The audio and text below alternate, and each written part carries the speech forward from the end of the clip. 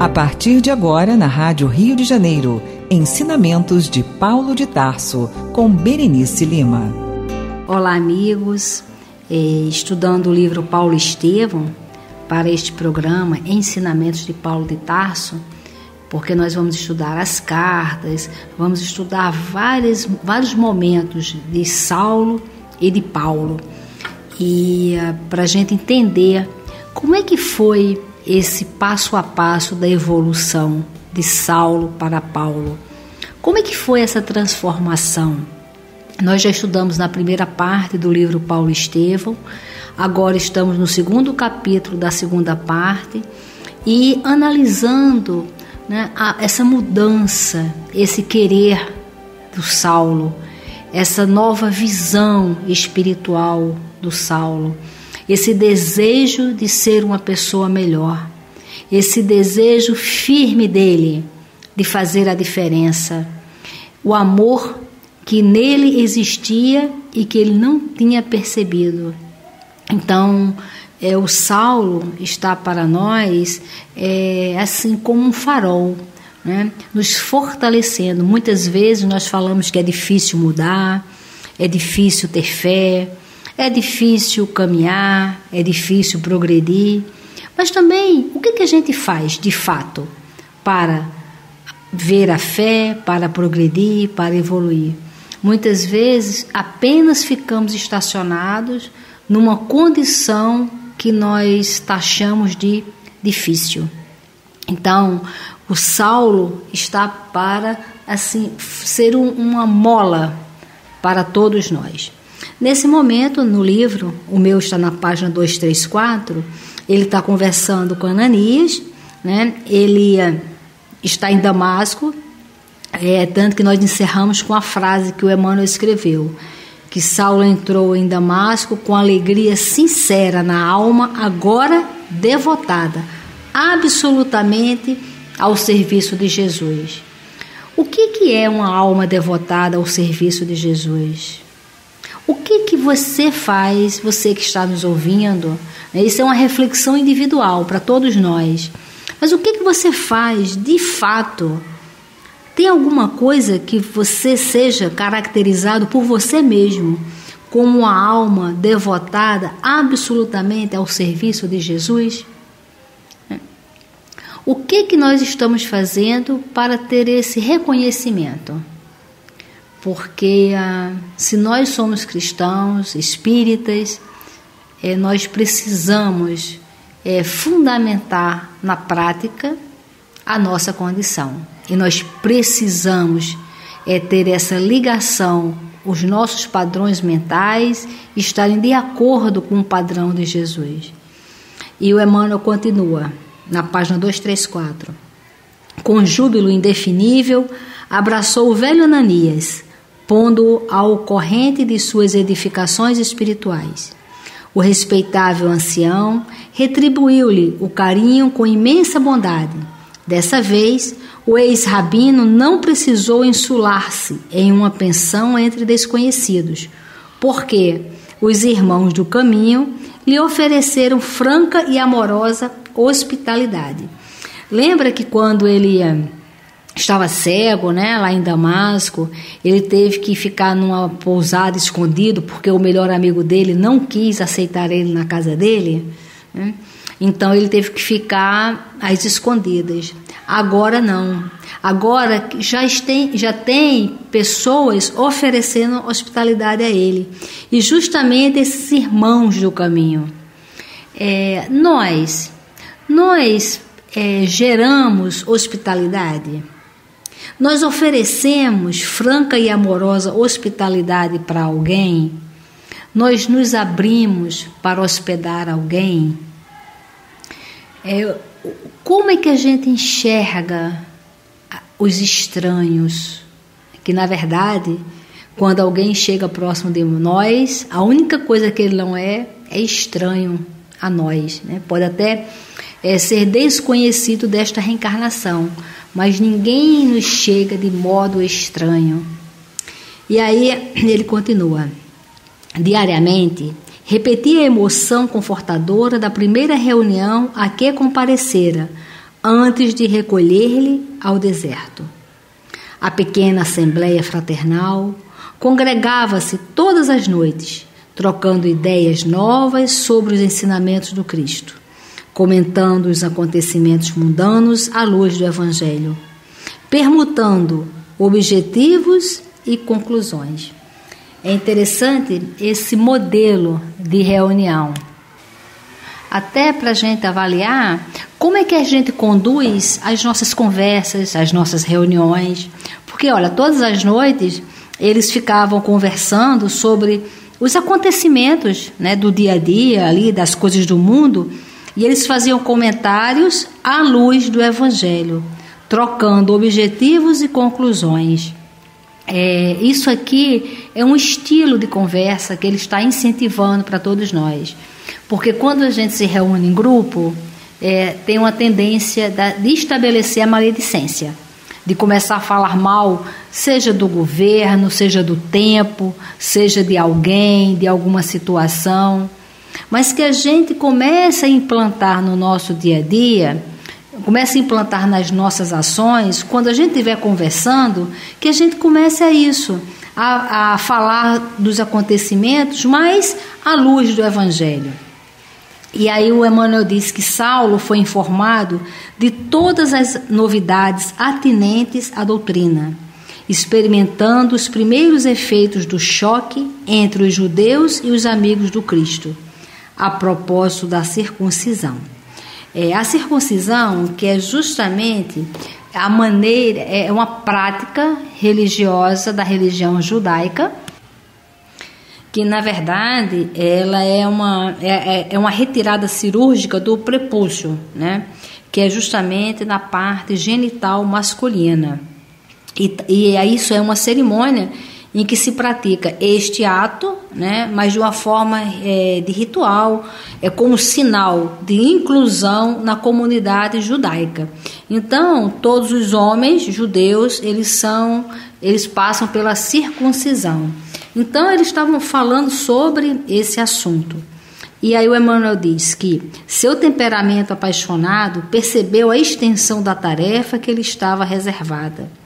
Os fariseus, formalistas da sinagoga não mais se insurgiam contra as atividades do caminho, desde que o seguidor de Cristo fosse, antes de tudo, fiel observador dos princípios de Moisés. Somente Ananias e alguns poucos perceberam a sutileza dos casuístas que provocavam deliberadamente a confusão em todos os setores, atrasando a marcha vitoriosa da boa nova redentora. Ora, Jesus veio trazer uma liberdade de pensar. Conhecereis a verdade e a verdade vos libertará. Jesus que não trouxe nenhum ritual. Jesus que veio livre, veio sereno, veio pleno, justamente passar ensinar para todos nós essa plenitude Nada, nenhum ritual, nada, absolutamente nada. Então, o Saulo sabia da quantidade de rituais que tinha a religião judaica e ele viu justamente é isso, né? Transformando a, a vinda do Cristo em mais rituais. Então isso foi uma coisa assim que é, tocou ele de imediato foi essa questão. E o Emmanuel diz que o ex-doutor da lei reconheceu que, na sua ausência, o processo de perseguição tornara-se mais perigoso e mais imperceptível, porquanto as características cruéis mais, mais francas do movimento inicial sucediam às manifestações de hipocrisia farisaica, que, a pretexto de contemporização e benignidade, mergulhariam a personalidade de Jesus e a grandeza de suas lições divinas em criminoso e deliberado ouvido. Coerente com as novas disposições do Fórum Íntimo, não pretendia voltar à sinagoga de Damasco, para não parecer um mestre pretensioso a pugnar pela salvação de outrem antes de cuidar do aperfeiçoamento próprio, mas diante do que via e coligia com alto senso psicológico, compreendeu que era útil arrostar todas as consequências e demonstrar as disparidades do formalismo farisaico com o evangelho. O que era a circuncisão e o que era a nova fé? Bom, isso aí é o que a gente tem que se embasar, né? O que é a fé. Porque Jesus trouxe essa liberdade. A fé, ela não pode estar relacionada a rituais, a posturas, a pessoas, a trocas. A fé é de fórum íntimo. E a fé é para todos. Nós est estamos conectados com Deus, somos filhos de Deus. Nós não precisamos de hierarquias, nós não precisamos de nada absolutamente para ter essa conexão com Deus. E o Saulo, nesse momento, ele não quer mais ser a referência do sabe-tudo, do sabichão, do rabino, da hipocrisia. Ele quer falar daquilo que ele faz. Ele quer falar daquilo que ele vivencia. Ele quer exemplificar o que ele sabe. Este é o grande ensinamento para todos nós, porque falar é muito fácil, ditar regras, conselhos, ditar normas é muito fácil. Agora, o que vai fazer que a gente se liberte de nós mesmos, o que vai fazer com que a gente caminhe para o alto vai ser a nossa postura prática. O Saulo não quer mais essa hipocrisia farisaica de títulos. Ele quer saber antes dele, entre ele e Deus. Então, é, ele sabe que a circuncisão está mais ligada a um ritual, até mesmo por questões de higiene, né? e não por ser uma obrigação divina que vai abalar a tua fé. E expondo a Ananias o projeto de fomentar a discussão a respeito do assunto, o velhinho generoso estimulou-lhe os propósitos de restabelecer a verdade em seus legítimos fundamentos. Quando Jesus fala, conhecereis a verdade e a verdade vos libertará, é que cada um faça uma reflexão do que, que nós estamos presos. Porque às vezes as pessoas falam assim: ah, não, isso aqui eu não faço, porque lá na minha casa espírita não faz. Ah, não, eu não posso fazer isso porque é, não sei quem não concorda. Ora, o nosso progresso espiritual é entre você e Deus. Nós precisamos eleger o nosso padrão de referência, Jesus. Isto é que vai fazer a diferença na nossa caminhada. E para a gente saber se nós estamos no caminho certo ou não, é a gente pensar o que Jesus faria como Jesus agiria nesta situação? Todos nós já temos condições de saber. Então, que façamos a nossa parte, que cada um dê um passo seguro rumo à sua própria evolução espiritual. É, tem uma mensagem do benfeitor espiritual Dr. Erma, que é o espírito que dirige aqui o nosso trabalho, que é uma mensagem extremamente significativa Aliás, essa mensagem, nós até é, colocamos ela de uma forma assim, é, em painel. Nós fizemos um painel com essa mensagem. Essa mensagem é assim: olha. Cada um de nós deve lutar pelo seu próprio progresso, não temer os passos que está dando na direção do bem, nunca esmorecer. Compreender que a vida é uma atitude constante de luta. Hoje e sempre, saibamos renovar nossos ideais, cultivar nossas ideias, multiplicar o aprendizado para que, quando solicitados pelas lutas e pelo próximo, saibamos responder não ao processo de abandono de tarefas, e sim ao cultivo constante de hábitos melhores que nos façam ser trabalhadores fiéis.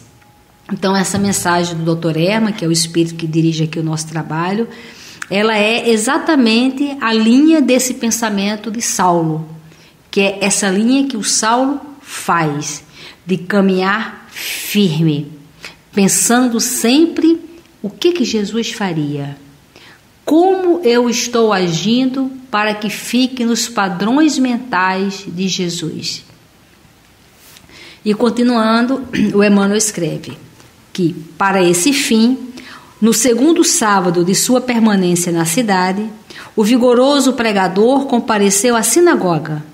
Ninguém reconheceu o rabino de Tarso na sua túnica rafada, na epiderme tostada de sol, no rosto descarnado, no brilho mais vivo dos olhos profundos. Então a transformação de Saulo, gente, foi até física porque ele era um, uma almofadinha, digamos assim, né? E ele resolveu trabalhar para si também, organizando as suas próprias necessidades. E aí, continuando, terminada a leitura e a exposição regulamentares, franqueada a palavra aos sinceros estudiosos da religião Eis que o desconhecido galga a tribuna dos mestres de Israel e, buscando interessar a numerosa assistência, falou primeiramente do caráter sagrado da lei de Moisés, detendo-se apaixonado nas promessas maravilhosas e sábias de Isaías, até que penetrou o estudo dos profetas. Os presentes escutavam-no com profunda atenção. Alguns se esforçavam por identificar aquela voz que lhes não parecia estranha. A pregação vibrante suscitava ilações de grande alcance e beleza. Imensa luz espiritual transbordava dos raptos altiloquentes. Foi aí que o ex-rabino, conhecendo o poder magnético já exercido sobre o vultoso auditório, começou a falar do Messias Nazareno, comparando sua vida, feitos e ensinamentos com os textos que o anunciavam nas Sagradas Escrituras. Então, como ele era um doutor da lei e ele conhecia tudo profundamente, ele foi, é, ele foi identificando a figura de Jesus em todos os profetas que anunciavam o Messias. É, ele foi é, dentro da própria religião, ele foi fazendo todas as identificações. Então, isso aqui é o famoso quem tem olhos de ver e ouvidos de ouvir. Porque, na verdade, é, ninguém queria um, é, um Messias amoroso, mas ele estava esperando um Messias que fosse briguento, que fosse lutar pelas coisas materiais. Jesus vem aparecendo completamente com o, o enfatizando o que? O reino dos céus. Então, quando ele abordava a questão da circuncisão, eis que a Assembleia rompe em furiosa gritaria. É ele, é o traidor, clamavam os mais audaciosos depois de, de identificar o ex-doutor de Jerusalém. Pedra ao blasfemo, é o bandido da seita do caminho. Ou seja, quando Saulo começou a falar das questões materiais, né, dos rituais, é, as pessoas realmente não quiseram ouvi-lo. E aí mostrando o alicerce da fé cega. Se a nossa fé estiver relacionada às coisas do mundo, nós temos que pensar sobre isto. O que que nos move? O que nós acreditamos está relacionado, está relacionado a coisas materiais ou a ideias espirituais. E aí ele continua: os chefes do serviço religioso, por sua vez, reconheceram o antigo companheiro, agora considerado um trânsfuga da lei, a quem se deviam impor castigos rudes e cruéis. Saulo assistia à repetição da mesma cena de quando se fazia ouvir na seleta reunião, com a presença dos levitas de Chipre. Enfrentou impassível a situação até que as autoridades religiosas conseguissem acalmar, acalmar os ânimos turbulentos. Então, o que, que acontece? É, as mesmas pessoas que o ouviam e que o aplaudiam são as mesmas pessoas que agora vão apedrejá-lo, que estão querendo massacrá-lo, mostrando que é o que é que antes, né, ele, ele apenas falava de forma farisaica, apenas ele ia falando sobre as coisas. Agora ele tem muito mais a dizer, porque ele tem a prática. Após as fases mais agudas do tumulto, o arquissinagogo, tomando posição, determinou que o orador descesse da tribuna para responder ao seu interrogatório. É, nós precisamos ouvir, ler de tudo e usar o nosso bom senso nas nossas decisões e não sair tacando pedra, né? O convertido de Damasco compreendeu de relance toda a calma de que necessitava para sair-se com êxito daquela difícil aventura e obedeceu de pronto sem protestar. E aí perguntaram a ele: Sois Saulo de Tarso, antigo rabino em Jerusalém? E ele responde: Sim, pela graça do Cristo Jesus. Tem um detalhe. O Emmanuel diz que quando ele respondeu isso, ele respondeu em tom firme e resoluto, sem titubear. Isso aqui fica um ensinamento para nós. Nós, quando falamos em nome do Cristo, nós podemos falar como Saulo está falando? Sim, eu sou cristão pela graça do Cristo Jesus, de forma firme e resoluta. Jesus sentiria orgulho, orgulho no sentido de feliz. Jesus estaria feliz por nós falarmos que somos cristãos, agindo como ele agia? Ou nós somos cristãos apenas no falar, de forma farisaica, como Saulo agia? Como é a nossa expressão cristã? Nós somos do Cristo ou não? Somos só da boca para fora ou da boca para dentro? Como é que nós somos esse cristão? Será que nós somos parecidos com Saulo, como Paulo, ou nós estamos na transição de Saulo para Paulo? Vamos refletir sobre isso para tomarmos as nossas decisões, porque a nossa caminhada espiritual ela é solitária, é cada um consigo próprio, mas nós precisamos caminhar, precisamos ter essa visão de progresso e promoção espiritual para caminhar na direção de Jesus. Muita paz. Você ouviu na Rádio Rio de Janeiro Ensinamentos de Paulo de Tarso com Berenice Lima. Com Berenice Lima. Com Berenice Lima. Com Berenice